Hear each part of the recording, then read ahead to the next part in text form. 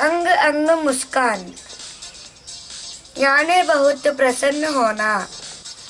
जब कोई किसी कारण बहुत खुश हो तो हम कहते हैं कि उसका अंग अंग मुस्कुरा रहा है। In English it means to be very happy शादी के दिन दुल्हन का अंग अंग मुस्कुरा रहा था। The bride was very happy on her wedding day.